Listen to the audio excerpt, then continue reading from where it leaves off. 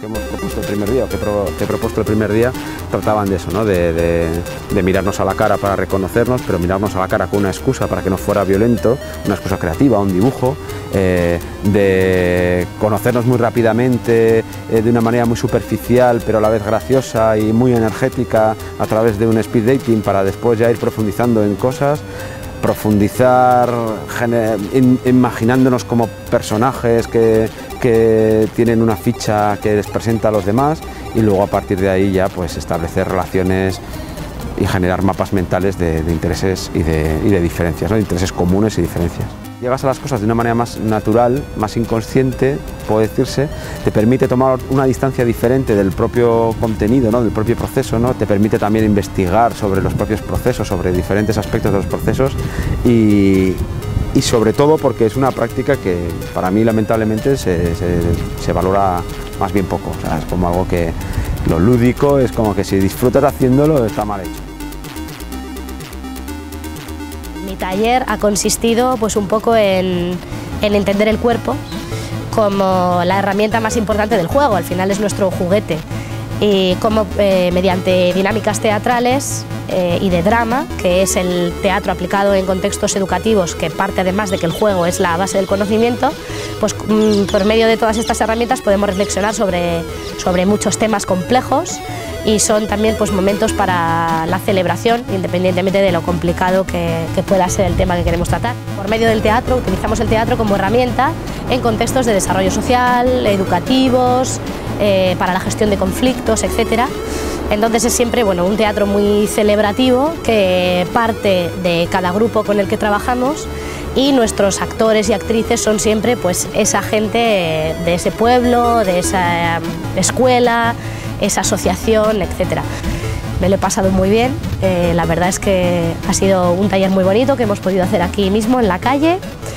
porque Sevilla, bueno, pues al final tiene un clima estupendo. Concretamente, el día de hoy lo que hemos hecho es trabajar con una herramienta que se llama Sociograma, que es una herramienta de trabajo que llevamos experimentando y aplicando en diversos talleres en transductores desde hace prácticamente dos años. La idea era trabajar el juego como un espacio de relaciones de poder y también como un espacio donde saber jugar con las relaciones de poder, los ejes problemáticos y dónde se sitúan los actores nos puede dar pistas sobre cómo subvertir o generar nuevos proyectos. Por lo tanto, la idea ha sido aplicar el sociograma en cuatro contextos específicos, en cuatro escenarios reales y a partir de ahí empezar a generar cuáles son las relaciones de actores o de agentes que entran en el proyecto, cuáles son las herramientas o los artefactos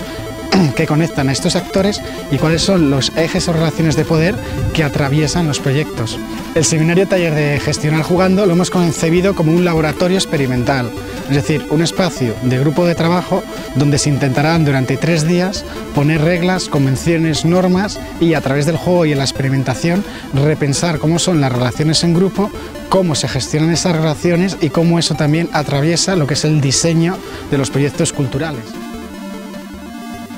somos seres humanos que sentimos, ¿sí? Somos seres humanos que nos vemos afectados por el ambiente en el que vivimos. Y eso, nosotros decimos, lejos de lo que ha hecho la tradición, el modelo educativo en el mundo occidental, de bloquear lo emocional, nosotros decimos, al contrario, hay que develarlo. Nuestro reto particular eh, va un poco encaminado ahí, a incorporar un enfoque de trabajo diferente basado en el placer, en, lo lúdico y en la construcción desde las cuatro variables que, planteaba Wilmer en su interrelación corporal, emocional, racional, espiritual, porque eso es lo que somos. Hoy no conocíamos de nada a esta gente y hoy la gente se demuestra a sí mismo que es capaz de sacar, que es capaz de disfrutar y desde una experiencia, desde una vivencia del disfrute, también de aprender. No es contradictorio, al contrario. Se pueden hacer las cosas que hacemos para cambiar, para transformar eh, nosotros y el entorno en el que vivimos desde otro lado, no solo desde la razón, no solo desde el sufrimiento, que es las batallas que día a día todos tenemos, también lo podemos hacer desde el placer y desde lo que somos. En concreto, la sesión de CEMOS 98 Hemos puesto en práctica el código fuente audiovisual, que viene a ser eh, un poco la receta o el imaginario que cada uno de nosotros tiene y que puede compartir a los demás, en un juego en el que se organizaban por grupos y cogiendo diferentes palabras eh, que habían surgido a lo largo de, los dos primeros días, se representaba a través de fragmentos de vídeo ese concepto. Y por último, eh, un juego de simulación en el que se ponen una serie de escenarios ficticios de determinados contextos, un centro cívico, una pequeña librería, em, un pabellón abandonado. Entonces esos contextos le eran entregados a de nuevo pequeños grupos de trabajo que tenían que diseñar todo. Nombre de la actividad, eh, identidad gráfica, vías de financiación, carencia. Y eso era presentado en una rueda de prensa en la que el resto de las personas del, del encuentro eran como periodistas y los que presentaban tenían que, además de narrar el proyecto, pues responder a sus preguntas. Mm, hemos intentado que, el, fuera un encuentro realmente, que no fuera un curso donde hubiera ponentes que tienen el conocimiento y luego participantes que lo reciben, sino que ha sido fundamental que la gente que se ha apuntado volcara todo lo que tenía dentro en cada una de las dinámicas que se han ido desarrollando. Gestionar sea una palabra que tenga como muchos prejuicios asociados, da la sensación de que cuando se habla de gestionar o de gestión cultural pensamos siempre en grandes hojas de Excel o en bandejas de entradas que no paran de recibir emails o en llamadas.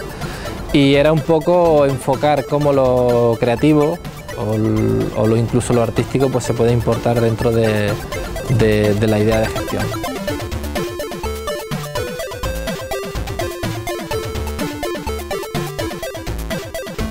Y como esto es gestionar jugando, pues hagamos una última cosa.